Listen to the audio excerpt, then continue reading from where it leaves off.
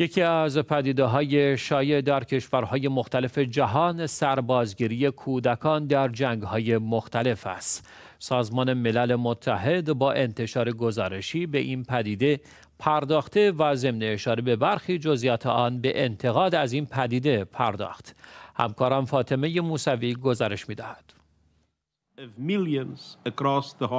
سازمان ملل در گزارشی به جزئیاتی از سربازگیری کودکان توسط گروه های مسلح در سراسر جهان و در رأس آنها لیبی پرداخت.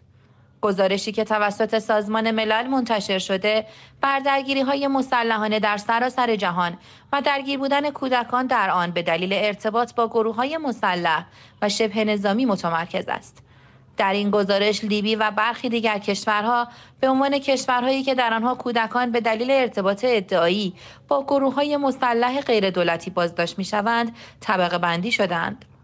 در این گزارش که توسط آنتونیو گوترش دبیر کل سازمان ملل متحد به شورای امنیت ارائه شده آمده که بیش از صد درگیری مسلحانه در جهان وجود دارد که به طور میانگین هر کدام از سی سال گذشته تا کنون همچنان در جریان هستند گترش در گزارش خود استخدام کودکان در ارتش یا گروه های مسلح غیر دولتی و استفاده از آنها در جنگ را محکوم کرد و گفت که این پدیده در جمهوری آفریقای مرکزی، سومالی و میانمار ادامه داشته و در لیبی و بورکینافاسو، سوریه، مالی و نیجریه شاهد یک روند سعودی بوده است. در همین راستا کمیته حقیقتیاب سازمان ملل در لیبی از ادامه به خدمت گرفتن کودکان سوری توسط گروه های شبه نظامی در لیبی خبر داده است.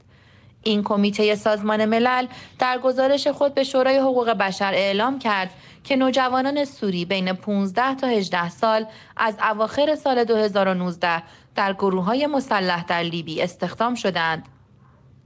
طبق این گزارش همچنین کودکان اقلیت ها در لیبی که تابعیتی ندارند و وضعیت حقوقی نامشخصی دارند در معرض خطر کشیده شدن به جنگ هستند.